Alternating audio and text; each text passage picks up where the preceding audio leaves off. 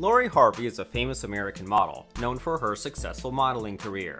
She has worked with such luxury brands as Dolce & Gabbana, Hermes, and Chanel. Lori is a stepdaughter of Steve Harvey, a popular American TV host, comedian, and actor. As for the love life of the model, here's what we managed to find out. We beg you will be surprised. Memphis Depay, 2016 through 2018.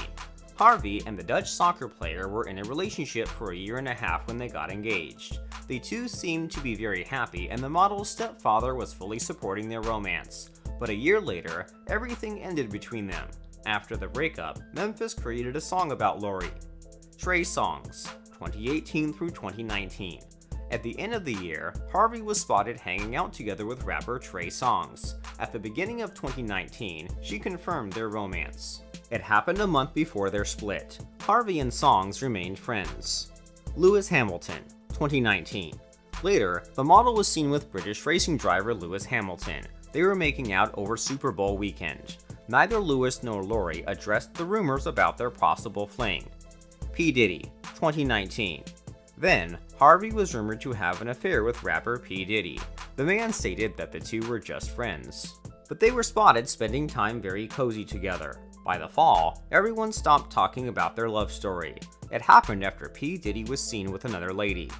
Future, 2019 through 2020.